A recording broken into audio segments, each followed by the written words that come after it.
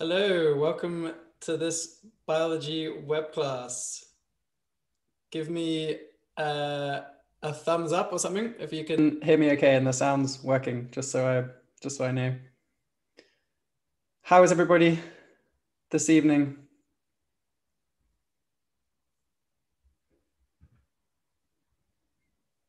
Anybody have any any exciting news? Oh, thumbs up. Thanks, Snazzy G. Um, yeah, never never quite sure if it's gonna if it's gonna work correctly. Good evening, good evening. Welcome back, returning students. Welcome for the first time. Any any newbies? Um, oh yeah, of course it's half term, isn't it? Um, yeah, so I guess most of you guys are not not in school.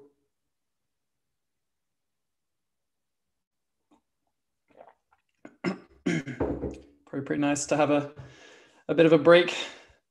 Has anybody got mocks or anything straight after half term that you've got to do some revision for? Or are you like more more chilled? Bonnie, got some exams if you worked out a, a revision schedule then that's like one of the the most important things you can do work out a good schedule that's realistic but achievable and try and stick to it um, but don't spend like a pitfall people fall into spending like five hours creating a really beautiful looking color coded timetable but then they don't actually even do it so don't waste time doing that but um, yeah try and make something that's attainable so, Callie, you've got you've got no sort of marks. Interesting. Yeah, it's it's. I really I find it very interesting to hear what the different schools are doing. It's obviously a really tricky situation this year, and everyone's been given like different things to do, and it was, it's all a bit of a mess. So it's interesting to hear the um uh, what people have been up to. Okay, I think let's make a start with the lesson today. So we're looking at cell differentiation and specialization. So, um, yeah, two long words, uh, often thrown about together, uh, really important for biology. So, how cells become specialized and like why do they do it? That's like the main gist. And then we'll look at some examples as well. So before we jump in, just a little bit about me. Uh, my name's Alex. I'm the head of biology here at SnapRevise. Um, I've been teaching and tutoring biology for the last four or five years now. Um, was working in schools originally, but now moved into uh, into like tutoring. Um, yeah. So and then now a bit about SnapRevise. So the reason we're offering these uh, weekly lessons at the moment on YouTube is kind of to advertise and to promote our new GCSE service. So we're launching a GCSE sort of tutoring and revision platform and program. Um, so I just realized the cursor is on the screen. Move it out of the way. It's kind of annoying. Um, and yeah, so it was due to start. I think we've pushed it back slightly. Just want to get a few more things in order to make sure it's looking really good before you guys uh, like like access to it. So it's it's gone back a little bit, and I think the competition has also been extended. If anybody was asking about that, that was some comments.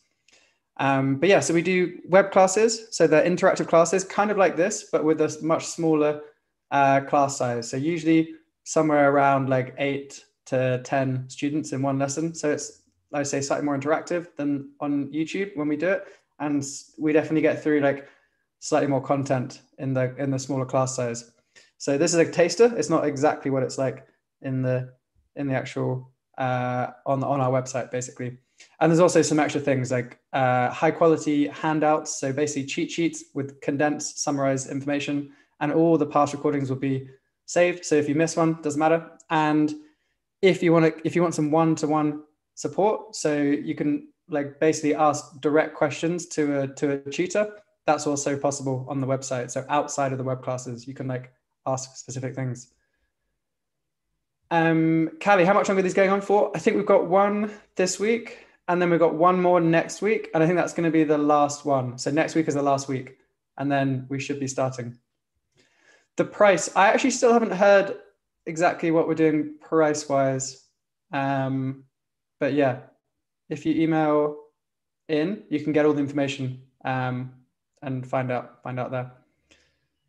So, yeah, as most of you are aware, or the returning students for sure, uh, we're running this competition. We're giving away 10 free accounts. So all you have to do to sign up or to be in a chance with winning is uh, go to this website uh, and just enter your email. As simple as that. So that it now ends on the 25th of February. So 10 more days to to enter. There's the link in the in the comments. all your questions. Uh, Kumar, yes, I could answer all your questions. Unfortunately, I haven't got time now to go through that. Also, because it's not it's not a topic we're doing. That's um that's like A two stuff rather than uh, this is a GCSE class about cells. So um, unfortunately, we can't talk about NAD and FAD in this class. But if you're a, a subscriber, then you can ask whatever questions you wanted, uh, and you get a you get an answer from the tutor. Um, yeah, unfortunately they are. We I think we might do like monthly classes on YouTube. It go in the, in the future rather than uh, like weekly ones. But we're hopefully um, getting you guys to to sign up to subscribe. That's the that's the aim. So um, yeah, our objectives today. Um, we're going to explain the importance of differentiation. We're going to look at a range of specialized animal and plant cells and then if we have time, we might not, um, we'll look at slightly uh, how the structure affects the, the function. So we're going to look at some case studies, some examples basically of some of the more, more famous cells. So these are the spec points. Just going to flick over them quite quickly today because I want to just dive straight into the content. But um, again, this this topic is is the same basically for all the specs. Like you need to know um, the the bases. Some of the actual examples are slightly different, but yeah, certainly all the core stuff is the same. So Snazzy G, we do a little bit on neurons at the end. Yeah, we talk about how they're how they're adapted. Um, when we're moving on to digestion, that will be yeah probably a fair amount later. So when we do our web classes, once the the package is actually started, we do three or four classes a week. So we get through the content much more quickly. So rather than just one a week, obviously we progress, but we basically work through the syllabus in order. So we start with like cellular biology and then we move into um, other parts. So I'd expect the digestive system to come up within the first two or three months of when classes start. Um, so what are subcellular structures uh, in animal and plant cells? So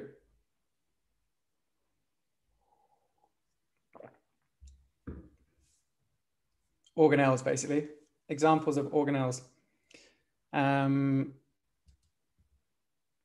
so we'll have ones that go in animals and plants, and we'll have ones that are just plants only, because there's some. Yeah. Nice, Alia. So plants only have chloroplasts. Um, yeah, ribosomes would be both. Nucleus would be both. Uh, what else we got? Cytoplasm, both. Uh, cell membrane, nice.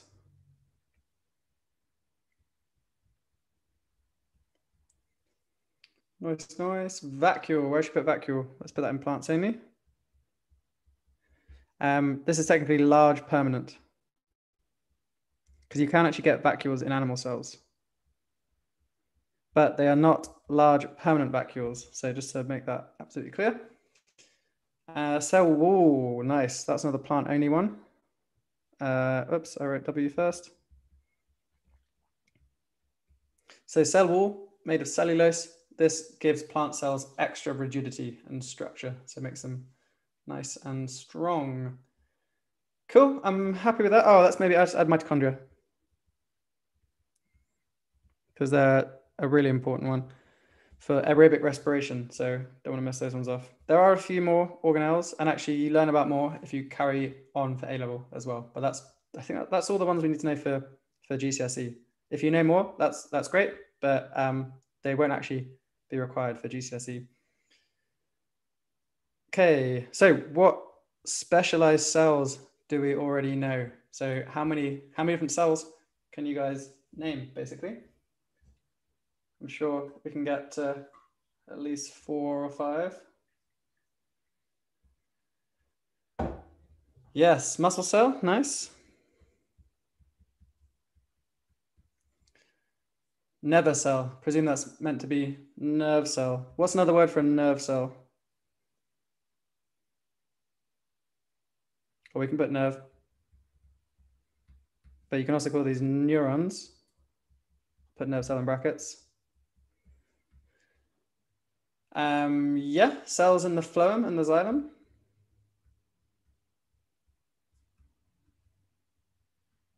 Very good. Um, oh yeah, nice. Lots of you saying neuron now. Root hair cell. I like that one, Mills. Yeah. Just gonna put there like that, just to speed it up. Um, definitely very good one. Yeah, Timothy, exactly. Basically, any cell that you can name other than a stem cell is going to be a specialized cell. Um, so yeah, it's kind of just a, a, a thing of how many cells can you can you name. Uh, Evan, nice guard cell and uh, goblet cell, very good. So guard cell, which are the ones around the stomata that open and close, and the goblet cell are in the respiratory system and they secrete mucus. So some good ones. Yes, white blood cell, like that one. White blood cell and red blood cell, also called erythrocytes. Brackets R, B, C. Um, nice. And yeah, palisade cell in the leaves. Very good. So there's loads of types of cell. Sperm cell, nice. Oh yeah, I meant to say that because someone put gametes.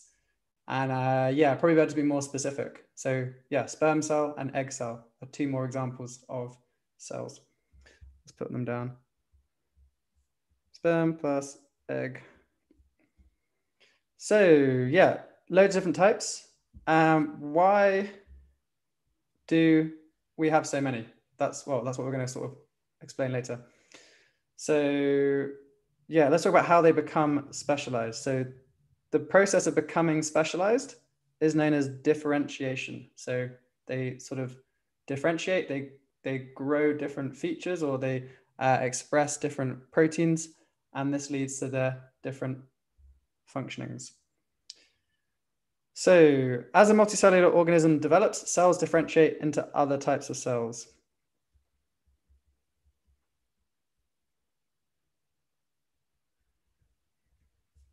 Into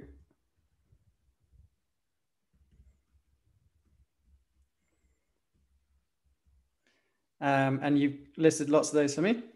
So in animal cells, most of these differentiate pretty early on. So before you've even been born, most of your cells have already differentiated uh, and they're no longer stem cells. So this is why uh, certain tissues are not very good at like healing themselves or growing in in adults. Um, so yeah, what we put this on. So uh, most differentiate early.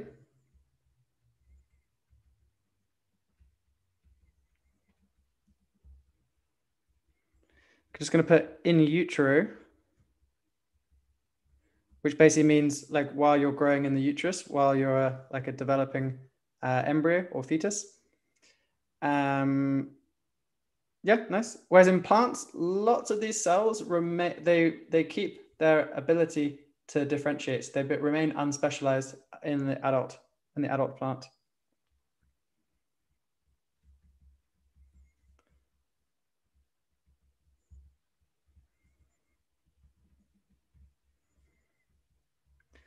In plants, many cells remain unspecialized even in the adult plant.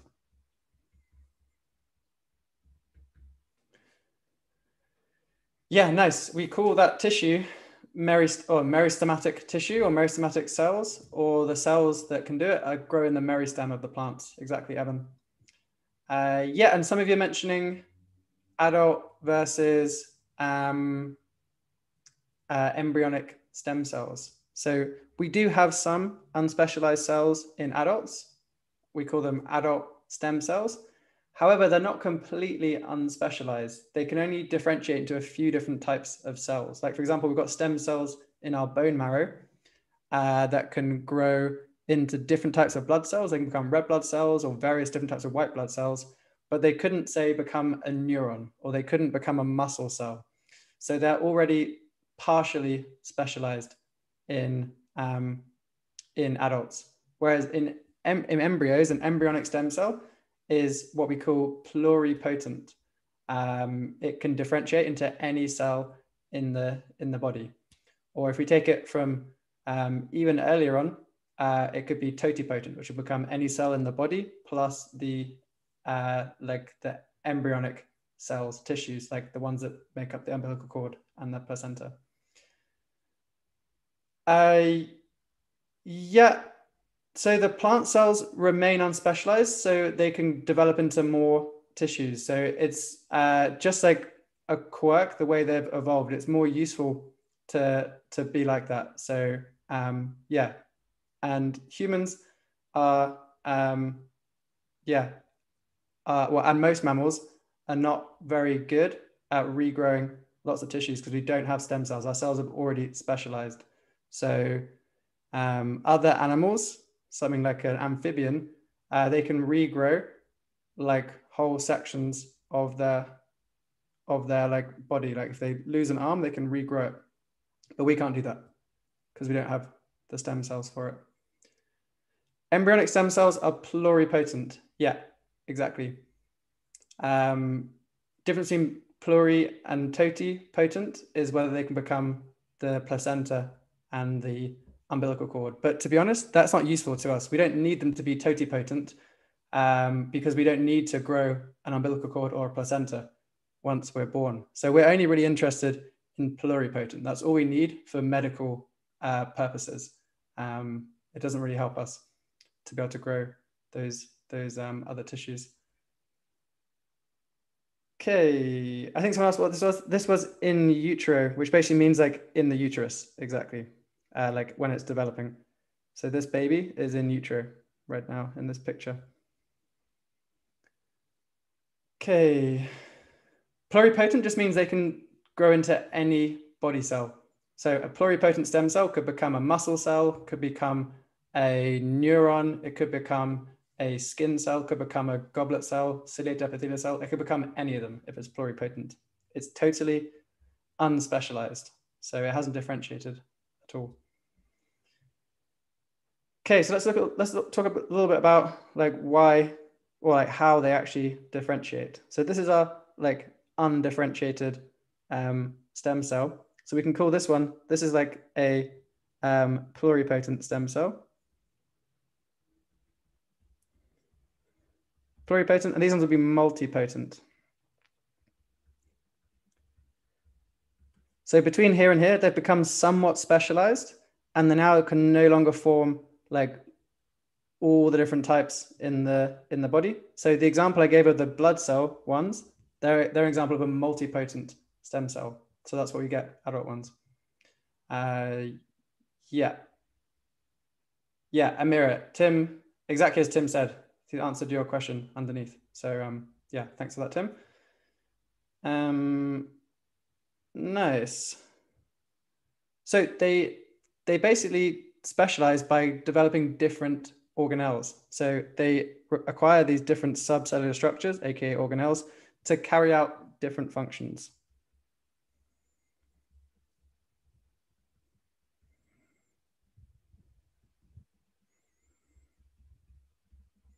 So cells have to carry out different roles, therefore they're probably going to need different tools to do that. And that's why they develop different organelles and different shapes and structures. Candy, you get stem cells both in fetuses and in adults, but the ones in fetuses uh, can become more different types of cells. So they're more useful from a medical standpoint. So um, yeah, you can do a lot more with an embryonic stem cell than an adult stem cell. However, what we're trying to do now in like medical like research and and like how we're trying to improve is if we can if we can take adult cells and turn them into stem cell um into stem cells that would be the most useful uh like thing we could do because then we've got an unlimited supply of stem cells which don't have any ethical concerns because we're not having to take them from um, embryos and um yeah the tissues but also the dna would match the host who you're giving it to so it's like a win-win if we can do that. So that's what like there's a lot of different medical uh, teams working on that, trying to get to to to solve the problem. Whoever does it will make like billions and billions of dollars, pounds. Like it will be a huge breakthrough in medical um, medical treatments. So um, quite a few questions. The yellow one would be a multipotent ones that can develop into different types of muscle cells. So you don't need to know the names of any of these. Um, in fact, you don't even, I wasn't really going to get into stem cells today. So I've kind of ended up talking about this more than I was um, planning on. Uh, we're not going over mitosis and meiosis today, unfortunately. Um, yeah, we're we're not we're not covering that another time. Uh, Okay, differentiation is important because it makes the organism more efficient.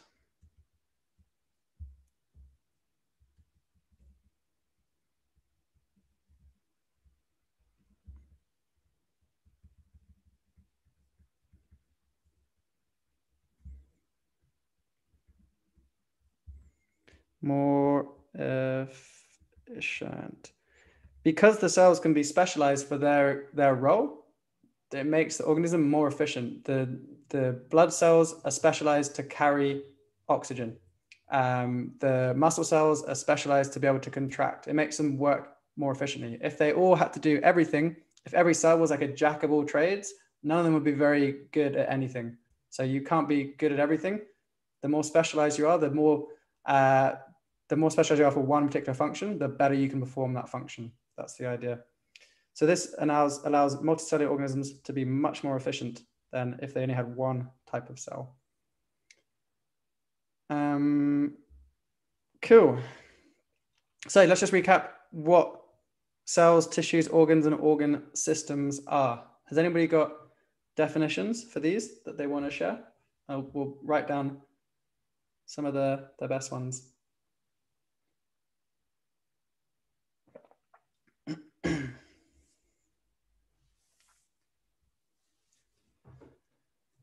Um, just looking at your some of your things, yeah, that cyclin dependent kinases is is not even in A level, I don't think, let alone GCSE. So don't don't worry about that for GCSE. Mm-hmm. So cell is the building blocks of all living organisms.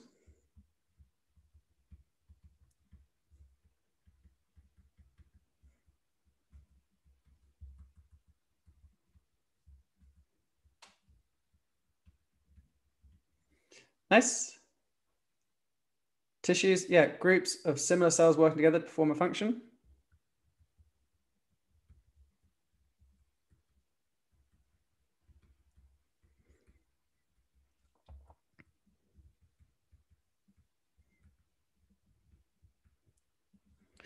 To perform a job.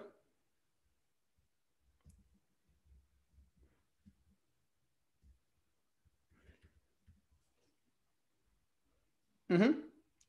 Nice, Sarah. And oh, lots of you actually. So organs, uh, groups, tissues working together to perform a specific function.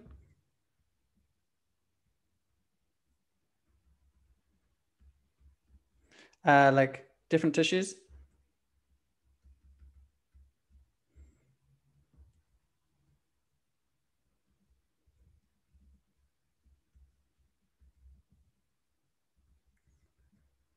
And then, nice, yeah. Organ systems, a group of particular organs working together with a particular role. Yeah, I like that one, Pooja. That's good. Nice. Um,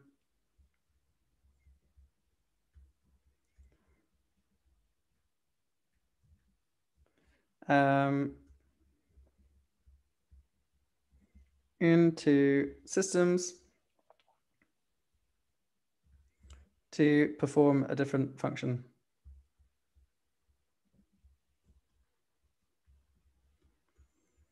So in this example, we've got a epithelial cell, which is like one that lines the edge of a tissue. And then we've got lots of those. I would make up the wall of the small intestine. Um, so the tissue, the organ is the, um, well, actually, it's kind of not very clear where it's from. It's from the small intestine rather than from the stomach. So that's just in there, but it's actually from the wall of the small intestine. And then the organ system would be the digestive system. So it's made up of the um, stomach, the small intestine, the pancreas, the colon, the esophagus, all those things would be in the uh, organ system. And then that's just one organ system in the whole organism. So they've also got their cardiovascular system, pumping blood around their body. They've got the respiratory system, doing gas exchange, and um, lots of things. So an epithelial cell is one that lines the edge of a tissue, Zane. So you've got them like in your respiratory system, like the alveoli, they've got epithelial cells in there, uh, and also lining the trachea. You've got them inside your digestive system, on your skin. It basically demarcates the, the boundary of a tissue until the external environment. So it's like a, a skin or a, a layer to at the edge of a tissue. Okay, so how are you guys feeling with that so far? Everybody following? Nima, yes, you do. Yeah, they all get recorded. So if you miss one, you can um, you can catch up afterwards. Exactly. That's where the, that's where we get the word like epidermis from. From the like it's the same same root as epithelial. Cool. Mostly ones. That's good. Tim, minus seven. I don't believe you. You've given me some very good answers, so uh, I'm not believing you're not following on. Okay. So let's do some exam questions then. The normal format is we do some teach some topics and then we do some actual exam questions to see how it would come up in an exam context. So the heart cells develop from stem cells by a process called cell differentiation. What is meant by cell differentiation? Just a one marker. Um, epidermal tissue is uh, the answer to that question. Mm -hmm. so cells becoming specialized for different roles.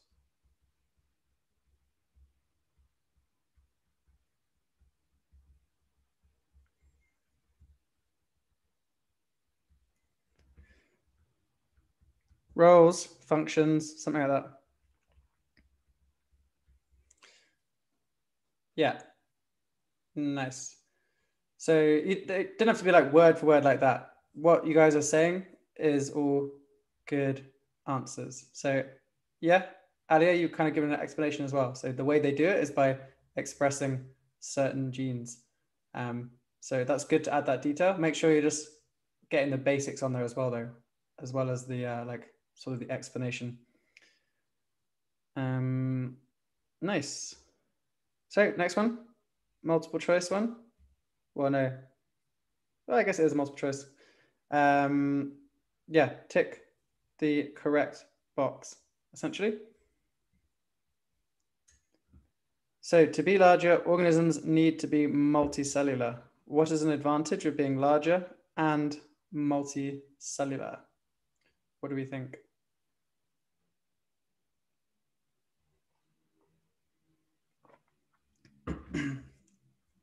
Zane, I would add to perform a specific role as well. That would be better if you could add that. But for one mark, just saying cell specialization is probably enough for the answer. Yeah. Yeah. Nice. So it's C. Yeah, it's weird that it hasn't got A, B, C, or D on there. But uh, yeah, essentially C or the third one down. They're able to differentiate and specialize. That's the advantage makes them more efficient, basically. Okay. So another uh, question now, three marker. We've just got to match up these uh, parts of the human body with their scientific name. So let's label these two, three, and let's label these A, B, C, and D. That'll make it easier to match them up. So layer of cells lining the stomach, the stomach, and then the mouth, stomach, intestines, liver, and pancreas. What are these things?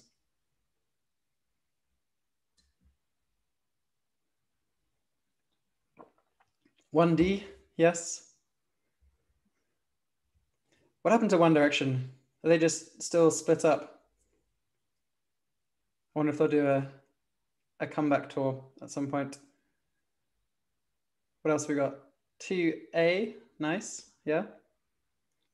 So the stomach is an organ, very good.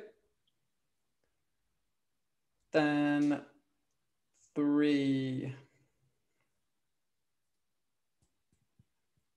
What are we saying? People saying C for three, an organ system. Yeah. So that would be the digestive system, basically. So mix up a organ system. Cool, nice. So um, let's now basically go through some specialized cells and talk about the different features that they have. So we've got a sperm cell here. How are they adapted for their function? Got three main points. One's to do with the tail, one's to do with the midsection, and one's to do with the, the head. So can anybody, um, yeah, give me any things they could say about those three sections. Mm -hmm. So tail is for swimming or for mobility. What's the other word for tail? What's another word we can call it?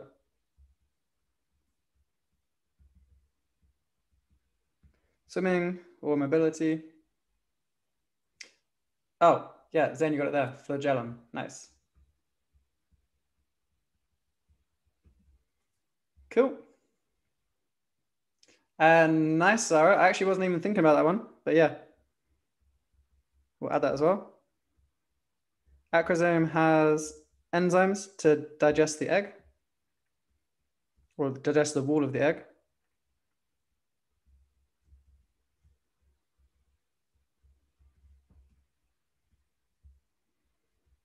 That's how they actually like burrow their way in and get in to fertilize the egg. Nice. Um, so this is also the nucleus. How's that different in a sperm cell than normal? Um, yeah, lots of these are good points, which I wasn't necessarily thinking of. Uh, definitely like small head, like streamlined shape for ease of swimming. That's a good one. Um, yeah. Meg, you've mentioned mitochondria.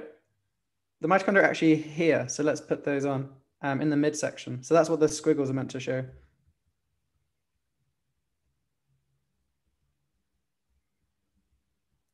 Lots of mitochondria to provide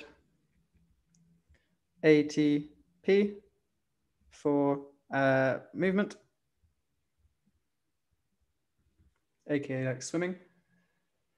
Yeah, the nucleus is haploid. That's probably the most significant thing. Um, uh, half a set of DNA, basically. So in humans, that would be 23 chromosomes.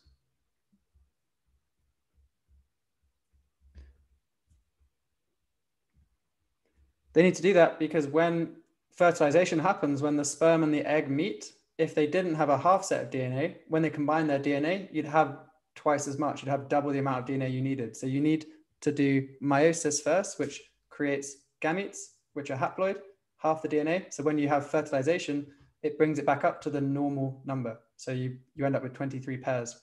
So two gametes with 23 chromosomes meet, they fuse, that's fertilization.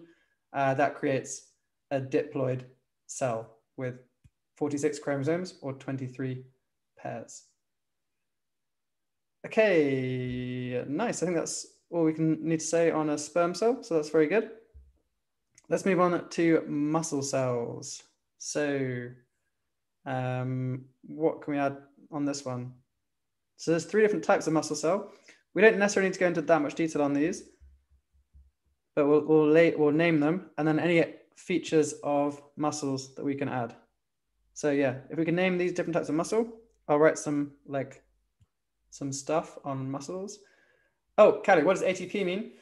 ATP is the sort of universal unit of energy in cells and in all living things. So it's a it's a molecule that's used to provide energy. So it gets turned from ATP into ADP, which we won't go into too much detail now. But uh, yeah, think of it as uh, like an energy providing molecule. Yes, lots of mitochondria.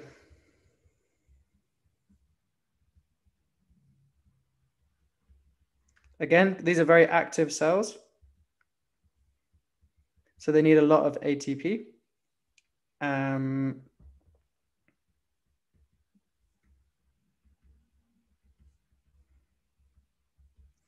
um, so they're, they're, they're formed into fibers. So we call that a myofibril. So they're like long, thin cells.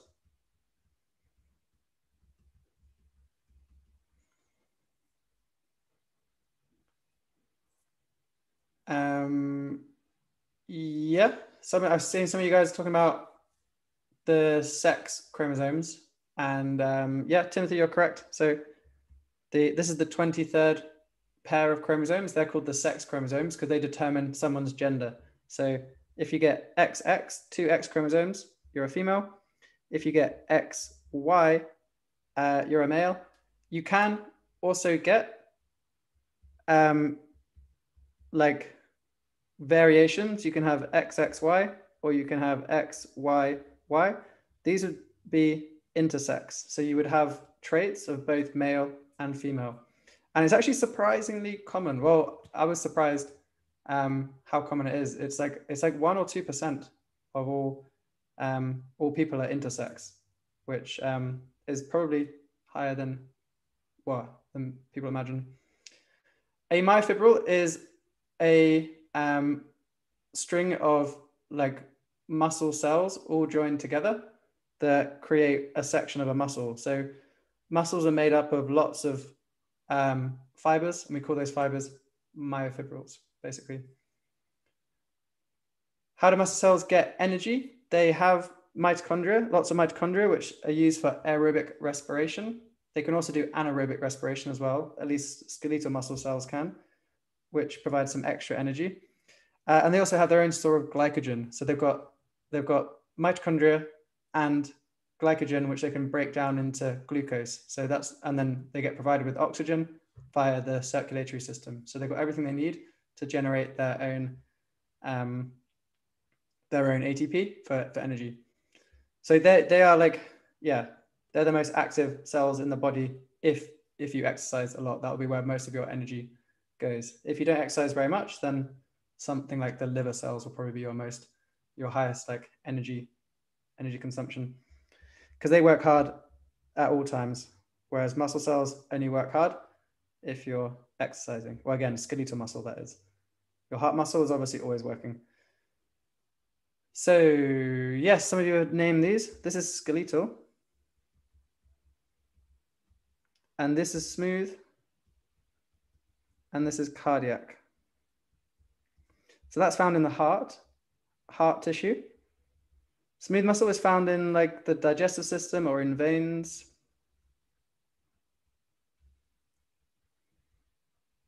Uh, there, there's involved with like vasoconstriction and vasodilation. So you get it in the in the um, uh, cardiovascular system. Veins slash arteries. So together, these are known as involuntary muscles.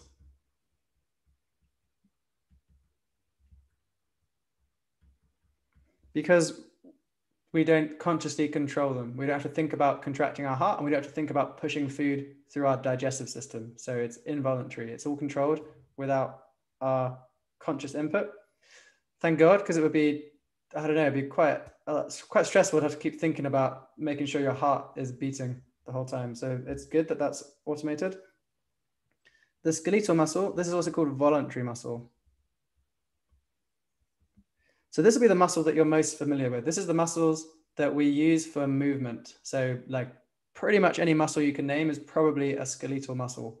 So your biceps, triceps, hamstrings, quadriceps, glutes, pecs, uh, traps, deltoids, can't think of any more muscles. They're all skeletal muscles. Um, and they're the ones that you can like train in the gym and get bigger. And they're the ones that make uh, result in you being like physically fit or unfit. Um, not that they're not the only thing, but that's one of the um, sort of features of uh, someone being fit and not fit. Okay, do muscles have both? Uh, yeah, good question actually. Um, skeletal muscle can respire both aerobically and anaerobically, but the involuntary ones, the smooth muscle and the cardiac muscle, can only do aerobic respiration. And this is really important because if you do anaerobic respiration, it leads to muscle fatigue. Um, so the muscle gets tired because it's building up lactic acid, basically, which uh, prevents it from working if it builds up to such a level. So you know how if you try and do a sprint, eventually you have to stop. Your muscles uh, will cramp up because you're producing uh, lactic acid because you're respiring anaerobically, and eventually they, they, you can't run anymore. That's fine if it's your skeletal muscle, but if it was in your cardiac muscle, suddenly your heart would stop working. So that'd be a that'd be a real like problem. So they only use uh, aerobic. Aerobic only for respiration. This one is anaerobic plus aerobic. Missed off an A in there. So they can do both. Yeah, so yeah, hopefully Tim's answered your question there. Um, so yeah, you actually don't get much energy from anaerobic respiration. You, you get 36 ATPs from one molecule of glucose if you do it aerobically, whereas you only get two if you do it anaerobically. So it doesn't actually provide very much, but it allows you to get extra energy that you wouldn't be able to do aerobically. So it's it's good for like short bursts of high energy. So if you need to catch prey or run away from a predator, um, yeah, it's it's good for that. But it's not sustainable and it's not efficient. So and it builds up a nasty byproduct, which is lactic acid. Whereas if you do aerobic respiration, all you produce is CO2 and water. Water is obviously harmless. CO2 can be toxic if it builds up, but we're quite good at removing that from our body in a like via our respiratory system and cardiovascular system. Okay, so I think that's enough on muscles. Let's look at another type of cell. So this is a ciliated cell. Um, where, where do you find these? Lactic acid like lowers the pH in the muscles, so it prevents them from working. It can like denature the enzymes. So um, yeah, that's why that's why you feel that burning pain. It is actually an acid in your in your muscles causing the pain. So yeah, different people got different lactate thresholds. The some people can take a lot of lactate without and still be able to push through it. They tend to be good at endurance sports, whereas some people their muscle cells cramp up more easily. Like if they had the same amount of lactate as a as an endurance athlete, their muscles would have stopped working before. You can kind of, but you can train it as well. Uh, yes, so ciliated ones you find in the trachea. Uh, lining of the trachea. You also find them in the fallopian tube, where they waft the egg down the fallopian tube. But the ones in the trachea are the more famous ones.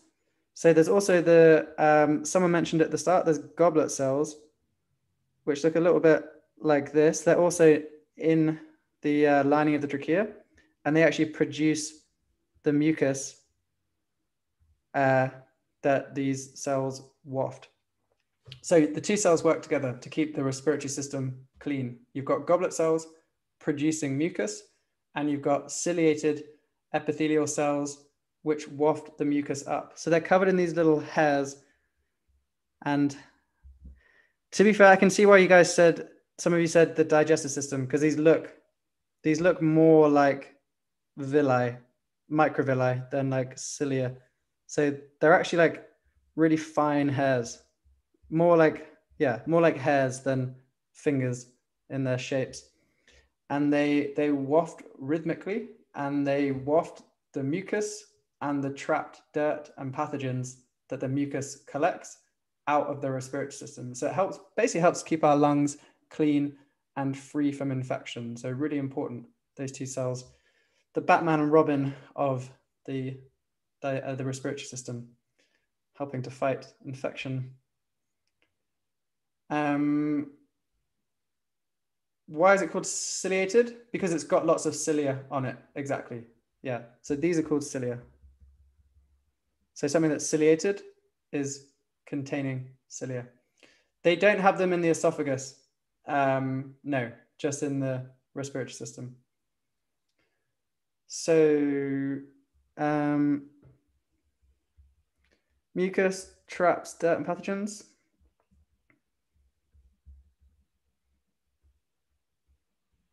It's made by the goblet cell. Won't write that down there. Um, cilia, ciliated cells waft this mucus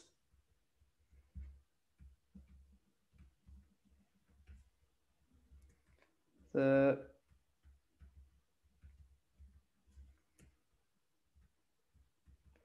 up and out of the respiratory system. So it helps keep it clean. So this is one of the things that's affected if you smoke. So if you smoke very infrequently and like, yeah, not much smoking, after having a cigarette, you just paralyze the cilia.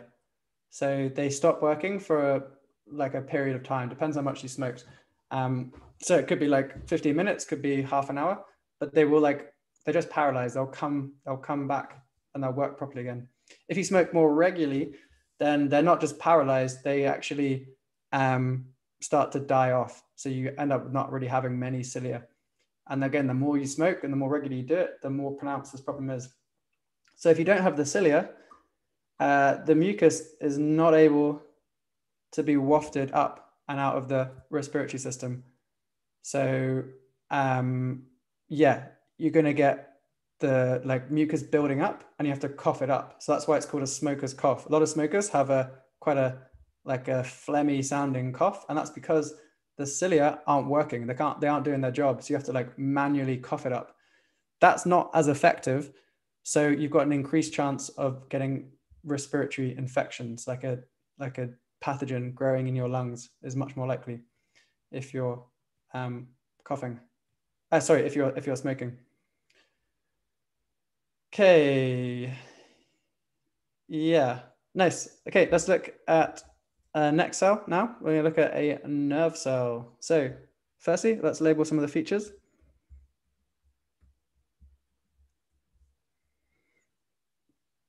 then we'll add sort of like an explanation on what's going on.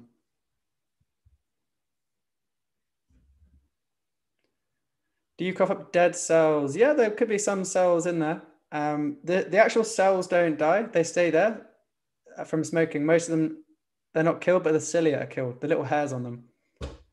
So the cells are still there, but the smoking like destroys the cilia basically. So they can't waft anymore. Mm-hmm. Yeah. So these are the dendrites. This is the cell body. Um, this one, does anyone put it? Uh, candy, yeah, they will regrow. Exactly. And I think there was some relatively positive study that said if you stop smoking I think it's after like 15 years, you basically got effectively no increase. Like, basically, your lungs are quite good at recovering. If you haven't smoked for like that many years and you stop, they can make a like pretty pretty good recovery. Um, yes, this is the axon. Mm -hmm. Yeah, no, not not like encouraging smoking and then stopping, but just saying that it is like there's basically it's always good to stop. Doesn't matter if you smoke for a while. There's always a benefit to stopping. The lungs will recover to a certain extent. Um, so yeah, it's not too late, basically. Uh, yeah, this is the myelin sheath. So that's basically what insulates the axon. So the signals, they'll arrive from other neurons via a synapse. They pass through here, down the axon, and then at the end is an axon terminal. This will synapse to another neuron. So the um, they're very long um, cells. let's put some of this down. Long cells with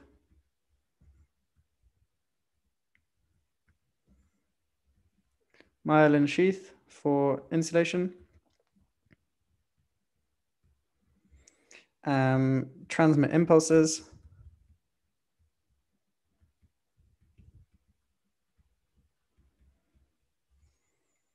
Um, yeah. Yeah, exactly. It increases the speed that the signal travels, basically. Is two axon or axon terminal? Two is the axon. Like this, like this whole thing is the axon from here to here. And then this would be the axon terminal.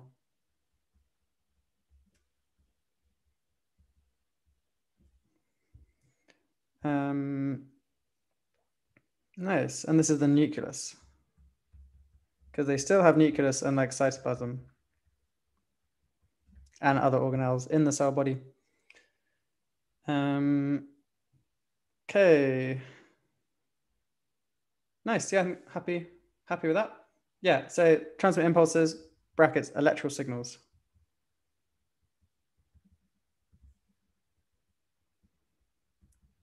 So because we use electrical signals to, to send uh, impulses, send messages around our body, we can like hijack that. So like, for example, if you tasered somebody, or if you watch a video of someone getting tasered, uh, you see that like their body starts to like spasm. So the electricity from the taser is sort of like, is causing nerves to fire, which causes muscle contraction. So it's basically uncontrollable muscle contractions. You can't like you can't stop it because your nerves are being triggered by the electricity from the from the taser. So um, yeah, and as long as the taser's firing, you basically can't control your muscles. They all they all contract at the same time.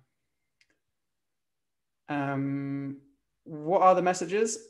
We're not going to go fully into it, but they're just like electrical impulses essentially.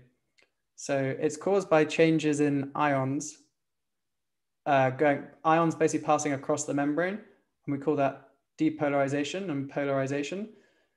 Um, and that's what actually causes the, the change in voltage, and that's what causes the electrical signal to be generated. Um, cool. Alia, yes, this is on YouTube, so you can this will go on YouTube for forever. Well, I can't guarantee forever, but for for a long time.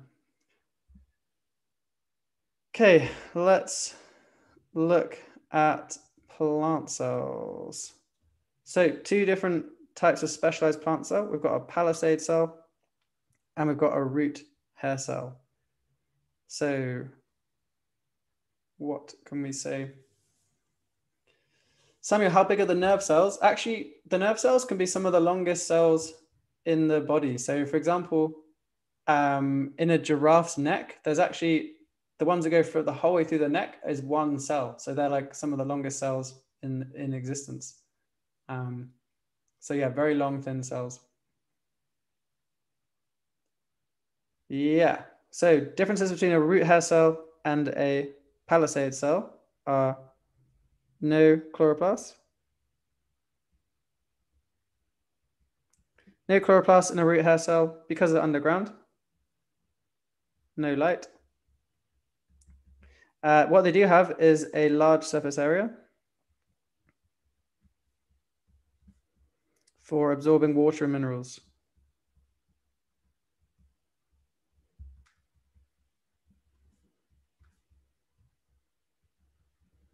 They actually also have a lot of mitochondria which aren't drawn on this diagram, but they need they actually use active transport to bring the minerals in. So they need mitochondria for that. Um, palisade, yeah, its most defining feature is that it's packed full of chloroplasts.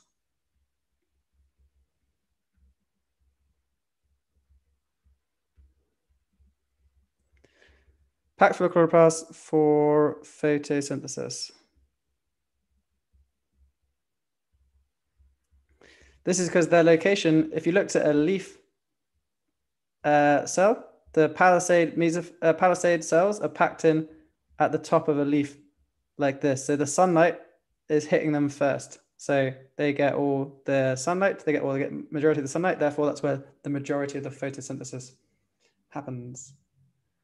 Um, oh, actually, having said that you never get chloroplasts in root hair cells, it's not actually always true. Some some plants do have uh, chloroplasts in their in their roots. Um, like if you if you has anyone got an orchid in their house? If you look if you look at a, an orchid, they're often grown in clear pots, and that's because the roots are able to do photosynthesis. So they're quite unusual in that regard. It's because typically they don't grow underground; they grow in like other trees and stuff, so the roots can be more exposed. Um, Evan, yes, active transport and root hair cells basically fairly straightforward. They get minerals which are in the soil and they actively transport them across the membrane using energy. So they use ATP to pump in the minerals and that lowers the water potential. If you pump in a lot of minerals, so a lot of salt ions, it's going to make it a more concentrated solution inside the root hair cell, and therefore water will follow due to osmosis. So they actively pump in the minerals and the water passively follows. They don't actively pump water, they just pump the minerals. Um, and that's how that works. Um, cool. What should we got to do? Let's do one more question and then, yeah, we'll probably call it a day there. So we're going to skip over these ones, um, but that's two more examples of specialized cells. So also in the plants, used for transporting. Uh, well, let's just oh, let's just do it.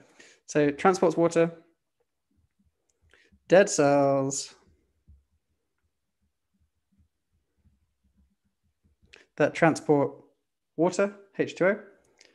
Um, they've got like it forms a continuous tube. They've lost the actual parts that um, that separate them. So they're a bit of an unusual one because it's most cells obviously are living.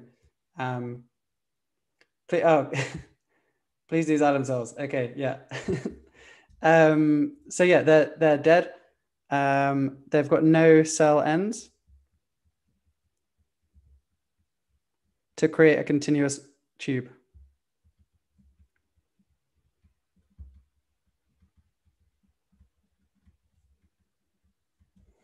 Um, phloem cells living,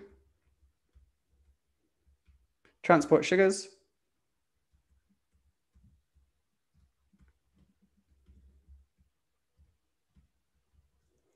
um, have cell ends.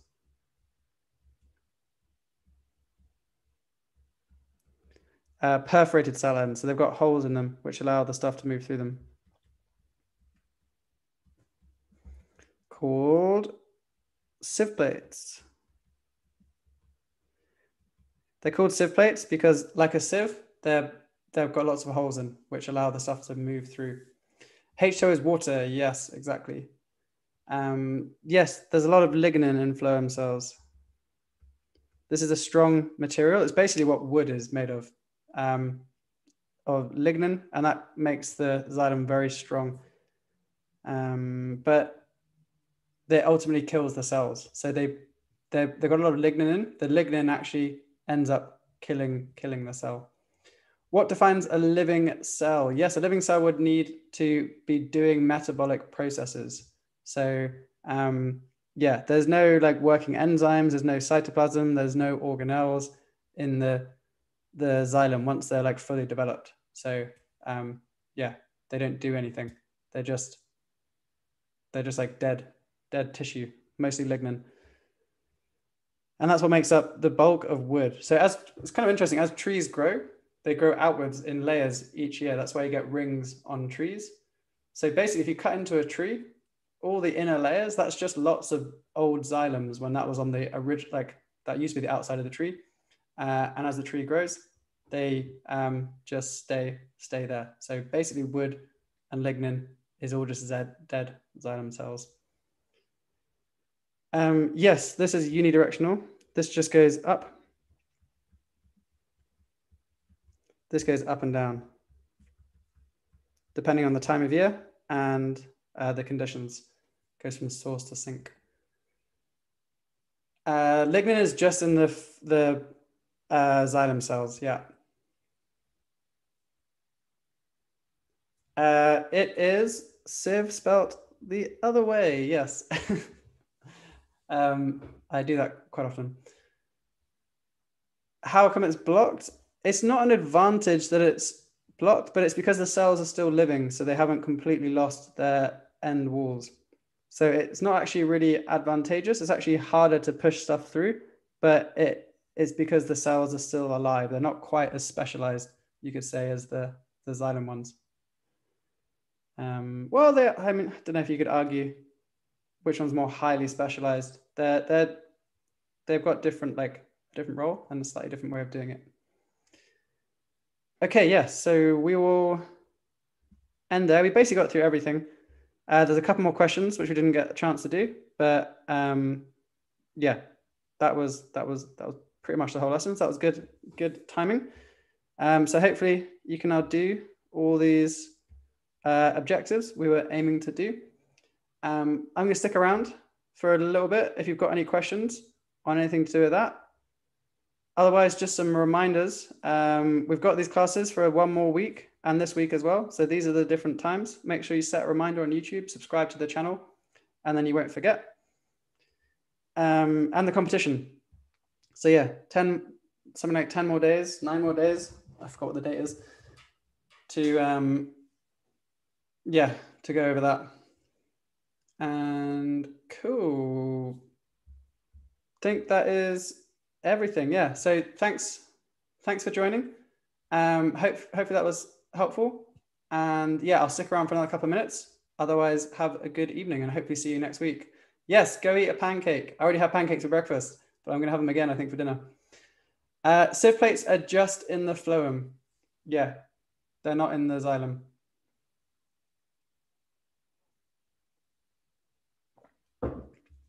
Yeah, they, there's island, there's no end walls at all. So no sieve plates. Cool. What is their function? It's just like where the cells used to have a wall that separated them, they've got holes in them, which allow substances to move through. That's how they, that's how they work. Um, cool, right. Yeah. Any other, any other questions?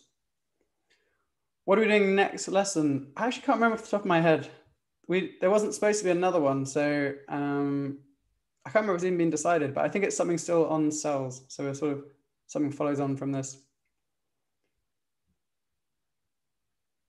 Yeah, Evan, exactly. That's called the cohesion tension theory, but we don't cover that in GCSE. That's just in A level. Um, yeah. Giovanni, yes, well, I was a teacher in schools, but now I just do tutoring. Um, not like classroom teaching anymore. SnapRevise accounts. We, we've got a A-level package that's been running for a few years, and we're now just launching a new GCSE one. So there's going to be both. They end in one more week. So one more week of these YouTube lessons, and then, um, and then we move on. Uh, yes, exactly. Ultimate revision. Exactly. That's how they. That's what they do. Is A level biology hard? Yeah, it's quite hard, but um, all all the science subjects are, are, are reasonably difficult. But it's it also means that they're like re well respected as well because it's known that they're quite hard. Um, yeah. Yeah, no, no worries. Um, we're not doing more classes just because this was like sort of a promotion a thing to give you guys a taster of what our new package is about. So hopefully, try and get you guys to to sign up really, uh, and well, trying to show you guys what we do and what what we're about, and then hopefully you are persuaded or convinced to to give it a go. Yeah, everyone always argues which is the hardest. Um, and yeah, I don't think there's a right or wrong answer. But if you're more drawn towards mathsy things, then maybe physics will be will be more of your like more suited to your like abilities. Um, but actually, all, all three sciences got a lot more maths heavy when the the government did a like a reform a few years ago. Um. Anyway, yeah, I think we'll we'll end there. So yeah, thanks thanks again for joining. Hopefully see you next week, and hopefully see you uh, on our website at some point, some point soon. Okay, all right. Bye. Bye bye.